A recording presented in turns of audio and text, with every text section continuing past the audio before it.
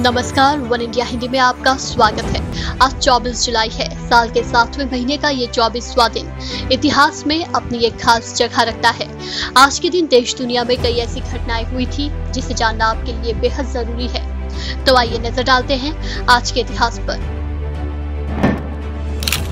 इस दिन 1911 में माचू पिचू के खंडहरों की खोज की गई थी। ये पेरू में एक प्राचीन इंका समझौता था और अब एक लोकप्रिय पर्यटन स्थल है। ऐसा माना जाता है कि इंका शासकों के लिए ये समर रिट्रीट रहा है। उनकी प्राचीन सभ्यता को सोलहवीं शताब्दी में हमलावर स्पेनिश द्वारा मिटा दिया गया था। चट्टानी पहाड़ियों के बीच बसा माचू पिचू में प्रतिष्ठित स्थल केवल स्थानीय किसानों के लिए जाना जाता था, जब तक प्राचीन खो इंका शहरों की तलाश में अमेरिकी खोजकर्ताओं का एक बैंड नहीं पहुँचा।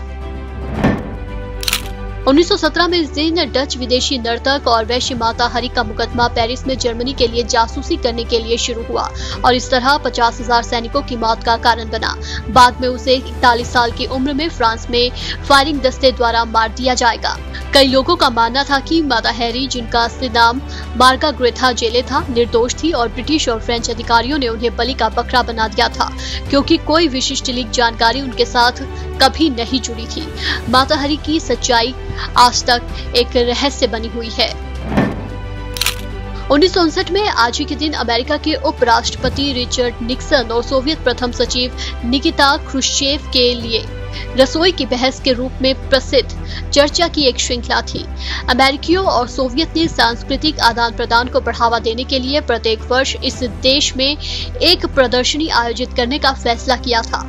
जब निक्सन ने अमेरिकी प्रदर्शन के आसपास क्रुशेव दिखाया तो साम्यवाद और पूंजीवाद के लाभों पर दो नेताओं के बीच एक बहस छिड़ गई। दो नेताओं ने प्रदर्शनी में कई स्थानों पर तलवारें लहराई, लेकिन किचन डिबेट ने अपना प्रसिद्ध नाम, एक कट मॉडल घर पर एक रसोई प्रदर्शनी से लिया, जिसकी लागत चौदह हज़ार डॉलर थी।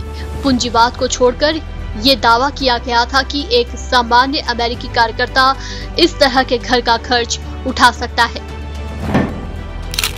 पहले आधुनिक धर्मशाला सेंट क्रिस्टोफर की स्थापना उन्नीस सौ सड़सठ में इस दिन लंदन में डॉक्टर रिस्ली सॉन्डर्स द्वारा की गई थी। इसने आधुनिक उपशामक देखभाल और धर्मशाला आंदोलन की शुरुआत को चिन्हित किया। मेहमान नवाजी से बीमार मरीजों को पूरा किया जाता है और उन्हें जीवन के अंत में उनकी भावनात्मक और आध्यात्मिक जरूरतों को पूरा करने के लिए उपशामक देखभाल प्रदान की जाती है। ये उन मामलों को लंबा करने के बजाय जीवन की गुणवत्ता को बढ़ाता है, जिन मामलों में रोगियों को लंबे समय तक रहने की उम्मीद नहीं होती है। इन खबरों में फ़िलहाल इतना ही। तमाम अपडेट्स के लिए बने रहिए वन इंडिया के साथ।